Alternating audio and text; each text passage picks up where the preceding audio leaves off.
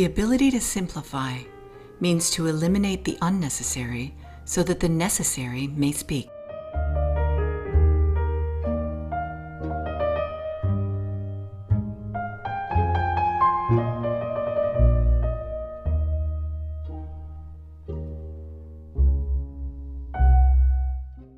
In each of Pedro's paintings, dreams are transformed into symphonies of form and color. There, we discover parallel universes, perceive rare beauty, and are whisked through memory and imagination.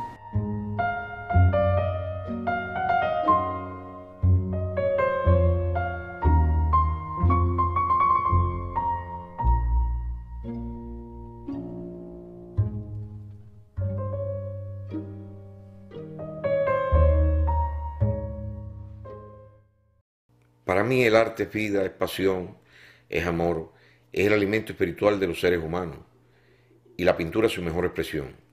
Mi obra es una obra dinámica, gestual y accidentada. Lo mejor de mis cuadros hay que apreciarlo en la más pura expresión de la forma, en la energía que ellos desprenden y en la intensidad de la estructura cromática o lineal de los mismos.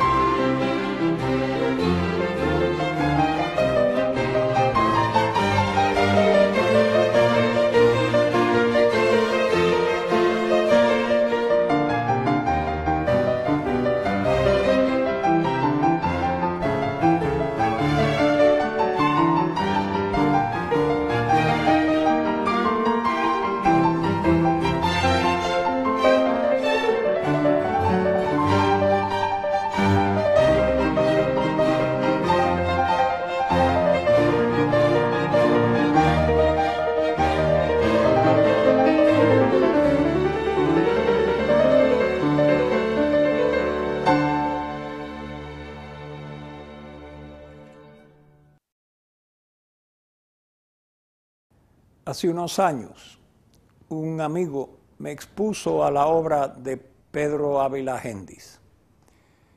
Me llamó la atención desde un principio el impacto tan poderoso que en mí tuvo esa obra.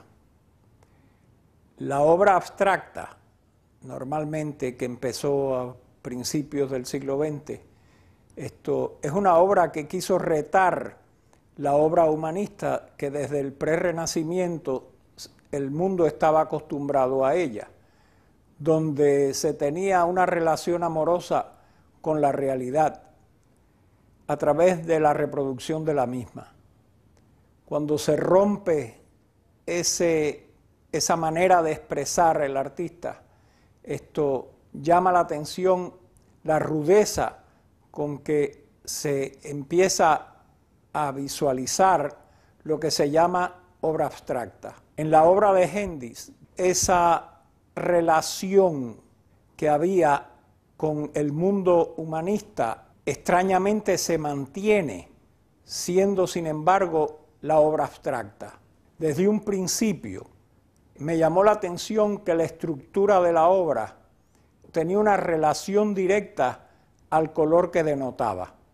Considero que la obra de Ávila Gendis es una obra en la cual se ve que el artista es un artista con una tradición de dibujo y en lo abstracto se denota que la abstracción no es un colorido sin sentido, sino al revés, es un colorido que denota una estructura dibujada, aunque sean en formas abstractas. Yo considero a Ávila Gendis eh, uno de los pintores abstractos más interesantes dentro de la pintura latinoamericana y directamente dentro de la pintura de nuestra Cuba.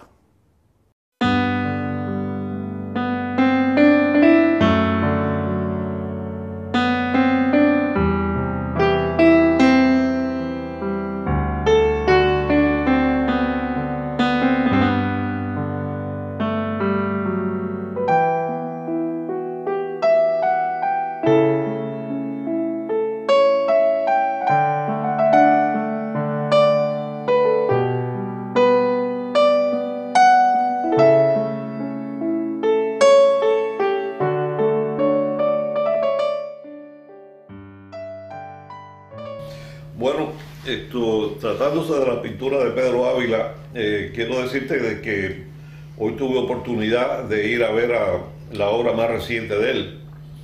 Y, eh, y tuve una, una, experiencia distinta a la, que, a la que tuve cuando vi la primera obra de él, que se exhibió hace ya, no me acuerdo bien si un par de años atrás en la Galería Las Américas Collection. En ese momento, eh, prevalecía más bien una especie de, color, es decir, el color se iba por encima inclusive de la forma. Y en este caso he visto que hay otros aspectos distintos de su proceso creativo. No porque el color deje de eh, estar, eh, deje de ser un protagonista principal en, la obra de él, sino porque ha introducido otros elementos inclusive menos estructurados eh, que se deben un poco más al azar, eh, como son los chorretadas, las chorreadas, que he visto como un entrejado, como un, un, tejido que cubre ciertos aspectos eh, de la obra. Hay un cuadro amarillo grande que ahora en estos momentos no tengo el título de él, quizás lo, le haya puesto título, ¿no? Donde tú puedes ver tres planos. El plano de fondo, donde él trabajó la estructura inicial del cuadro, después en tejido de, chorretadas que desde luego tienen que ver más bien con el azar, con, y después una construcción eh, o una estructura, mejor dicho, que vemos en el lado izquierdo del cuadro, que compone, que cierra la figura. En primer lugar, Pedro ha llegado ya a un punto en que se, uno puede percibir una madurez.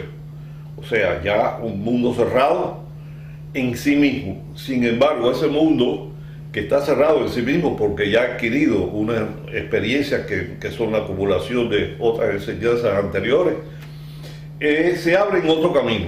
Y veo que en ese sentido eh, su voluntad de ir eh, dejando de que ciertos aspectos del azar experimentales vayan surgiendo en su obra me indica de que él está buscando en eso una especie de salida a unas nuevas formas de expresión que eh, eh, podrán en estos momentos verificarse perfectamente bien con la, eh, con la obra actual que tiene y podrán mañana ir adquiriendo un lenguaje nuevo, que ese ya pues, no, no, tenemos manera de saberlo, ¿no? pero sí apunta hacia un, hacia un futuro que me parece muy, muy positivo.